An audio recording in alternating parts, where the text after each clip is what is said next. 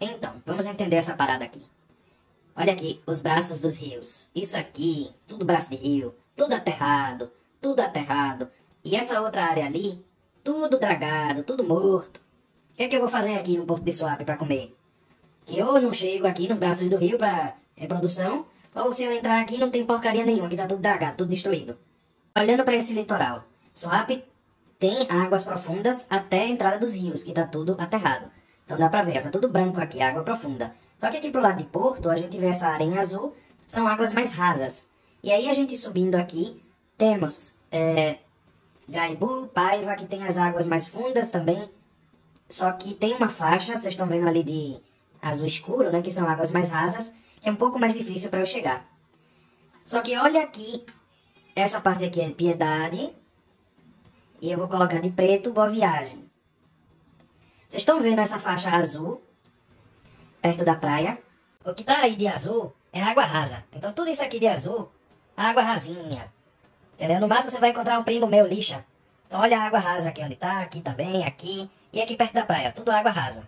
Só que você tá vendo essa parte branca ali no meio? Essa coisinha aqui? Branco é fundo. Beleza? Então, olha aqui. É fundo. Então eu tenho aqui, veja que legal.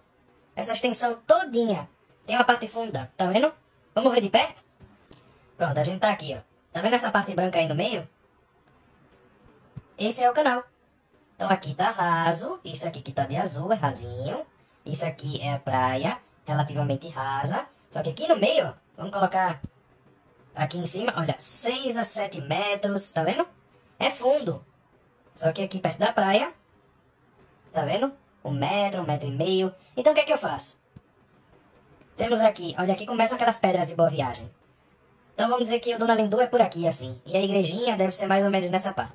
Então o que é que eu faço? Eu venho aqui, tudo raso, não consigo acessar a praia. Mas por aqui ainda posso passar por cima.